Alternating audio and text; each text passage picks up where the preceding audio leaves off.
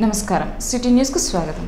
భారతీయ జనతా పార్టీకి మూలస్తంభమైన భారతీయ జనసంఘ్ వ్యవస్థాపకుడు శ్యామ్ ప్రసాద్ ముఖర్జీ సేవలు అభినందనీయమని బీజేపీ జిల్లా అధ్యక్షులు పాటిబండ్ల రామకృష్ణ పేర్కొన్నారు. మంగళవారం స్థానిక కొత్తపేటలోని బీజేపీ కార్యాలయంలో శ్యామ్ ప్రసాద్ ముఖర్జీ వర్ధంతి వేడుకను ఆ పార్టీ శ్రేణులు ఘనంగా నిర్వహించారు. ఈ సందర్భంగా ఆయన చిత్రపటానికి పూలమాలలు వేసి ఘననివాళులర్పించారు. అనంతరం భారతీయ జనసంఘ్ ద్వారా దేశానికి అందించిన సేవలు గుర్తు చేసుకున్నారు. విద్యావంతునిగా వివేకం కలిగిన మహనీయునిగా ఆయన రాజకీయ జీవితాన్ని ప్రశంసించారు. కార్యక్రమంలో T Anantacharyulu Maila Harikrishna Thotakura Koteswararao Manchala Ratnaraju Yogananda Kishore Aditya T Subbarao T Renukadevi S Ravindra Gali Suryanarayana తదితరులు పాల్గొన్నారు.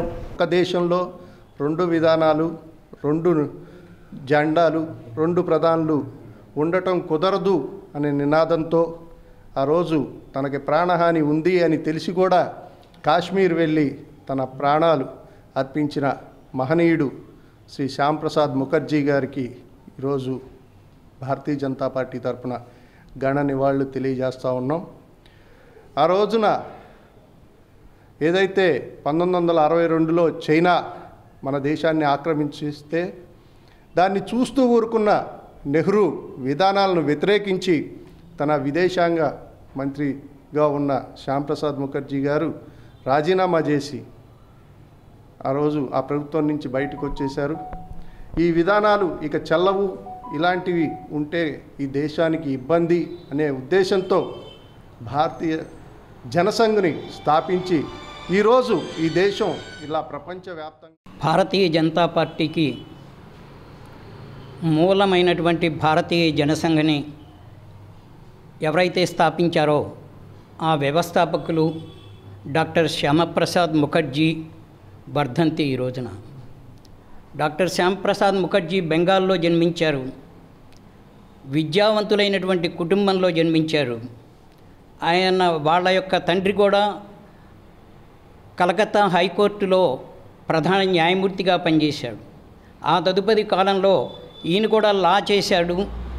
బెంగాల్ కలకత్తా యూనివర్సిటీకి వైస్ ఛాన్సలర్గా అతి ముప్పై మూడు ఏళ్ళ చాలా చిన్న వయసులోనే ఆయన చేశాడు వైస్ ఛాన్సలర్గా.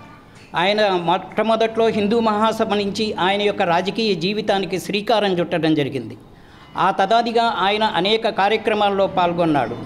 ముఖ్యంగా నెహ్రూ గారి మొట్టమొదటి కేబినెట్లో ఆయన పరిశ్రమల శాఖ మంత్రిగా పనిచేయడం జరిగింది.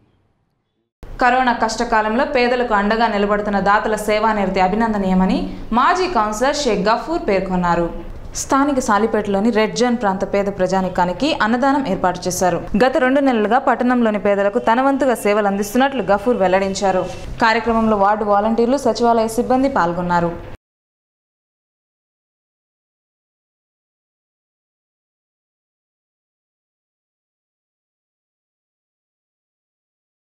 కరోనా నేపథ్యంలో ఇరవై రోజుల నుంచి ఎవరికైతే భోజన వసతి అవసరమో ఆ ఏరియాని ఎన్నుకొని గౌరవ ఎమ్మెల్యే గారు శివకుమార్ గారి ఆజ్ఞతో ఆ వార్డుల్లో నేను ఫలావధానం చేస్తున్నాను. ఈ కార్యక్రమం నిర్విఘ్నంగా చేస్తున్నాను. ఇంకా ఈ వార్డులో అవసరం ఉంది. ఒక ఐదు రోజులు కూడా వరుసగా చేస్తామని చెప్పేసి తెలియజేస్తున్నాను. ఈ ఈ కార్యక్రమానికి బాండీల నరసింహ వారి కుమారుడు పల్లా గురునాథ్ గుప్తా గారు ఆర్థిక సహాయం చేశారు. అట్లానే అన్నపూర్ణ అన్నపూర్ణ జనరల్ స్టోర్ వారు రఘునాథ్ గుప్తా గారు కూడా ఈ దానికి హెల్ప్ చేశారు.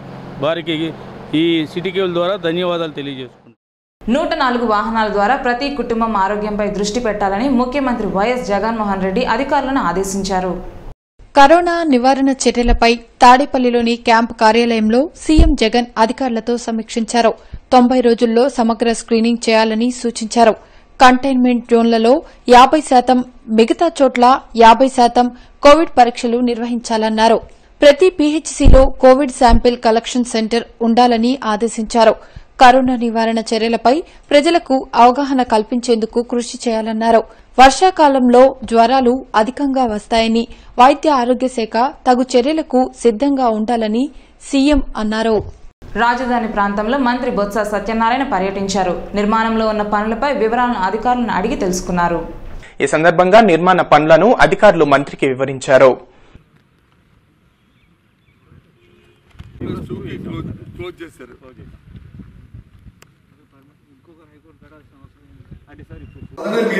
మీరు చెప్పగలుగుతుంది ఎంపీగా జిల్లా అభివృద్ధికి శక్తి వంచన లేకుండా కృషి చేస్తానని మోపిదేవి వెంకటరమణ అన్నారు.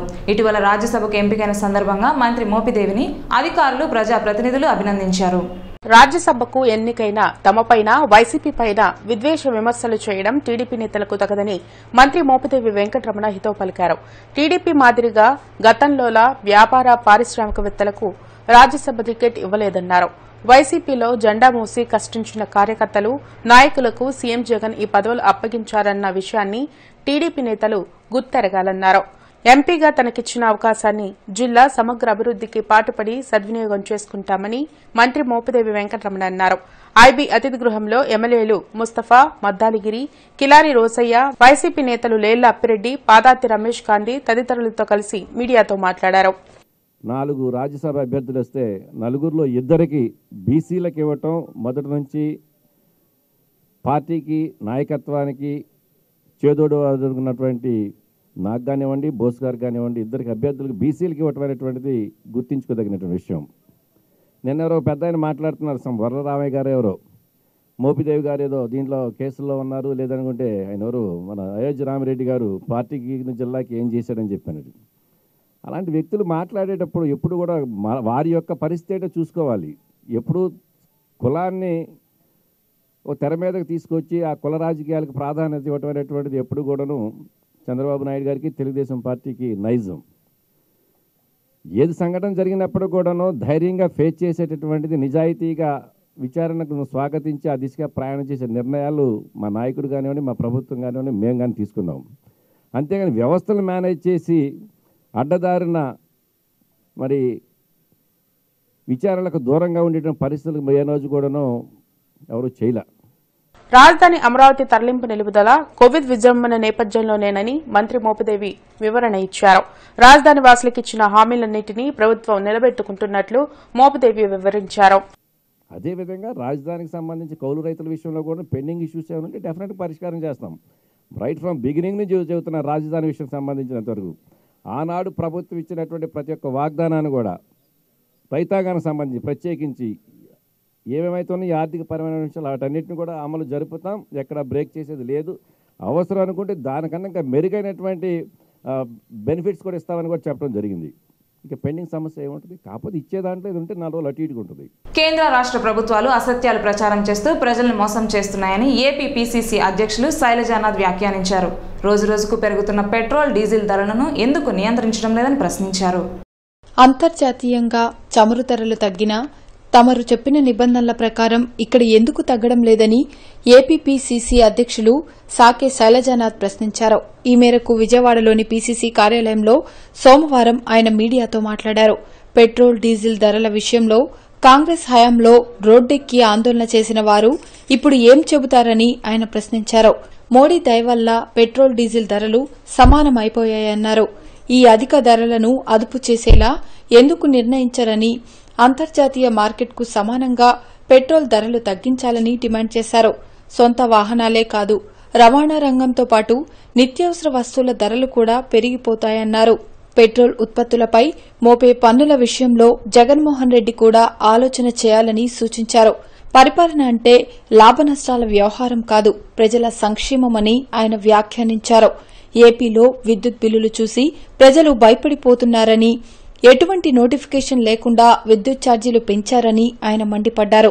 మూడు నెలల కాలానికి ఒకే బిల్లుతో టారిఫ్ మార్చి ప్రజలను దోచుకుంటున్నారని విమర్శించారు. ఈ బిల్లులు ఎలా పెరిగాయో ప్రభుత్వమే చెప్పాలని లేదా పూర్తిగా రద్దు చేయాలని ఆయన డిమాండ్ చేశారు. రాష్ట్రంలో ఆర్థిక పరిస్థితి చూస్తే భయమేస్తుందన్నారు. కరోనాతో ప్రజలు యుద్దం చేస్తుంటే ప్రభుత్వాలు ఆదాయం కోసం పాకులాడుతున్నాయని శైలజానాథ్ మండిపడ్డారు. పెట్రోలు డీజిల్ ధరకి ఏంది వ్యత్యాసం అనుకునే వాళ్ళం అప్పుడు పిల్లప్పుడు అర్థం కాని రోజుల్లో. నరేంద్ర మోడీ గారి దయ వల్ల వారి ప్రభుత్వం దయ వల్ల పెట్రోలు డీజిల్ ధరలు సమానంగా వచ్చిన కాలం వచ్చింది. ఇప్పుడు మనం పెట్రోల్ బండి కొనుక్కోవాలా డీజిల్ బండి కొనుక్కోవాలా అనేది పెద్ద ఆలోచించాల్సిన పనిలే. ఏది ఎక్కువ కాలం గట్టికుంటే ఆ బండి కొనుక్కోవడం మనకు మంచిది. అధిక ధరలకి ప్రజల్ని మోసం చేస్తూ ఉన్నారు. లక్షలాది ఇప్పటికున్న ఒకనొక ఎస్టిమేషన్ ప్రజలంతా బాధల్లో ఉంటే వాళ్ళు తమ బాధల్ని చెప్పుకోలేని కాలంలో మీరు సాగిస్తున్న దోపిడీ ఒక చీకటి వ్యాపారాన్ని గుర్తు చేస్తూ ఉంది. అది మంచిది కాదని తెలియజేస్తూ ఉన్నాం ప్రభుత్వాలకు కానీ ఎవరికి కానీ కనుక తక్షణం అంతర్జాతీయ మార్కెట్లతో సమానంగా భారతదేశంలో పెట్రోలు డీజిల్ని సవరించమని అమలు చేయమని ఆ లాభాన్ని ప్రభుత్వం కాకుండా ప్రజలకు అందించమని కోరుతా ఉన్నాం ఒకటి సిటీ న్యూస్ ఇంతటితో సమాప్తం నమస్కారం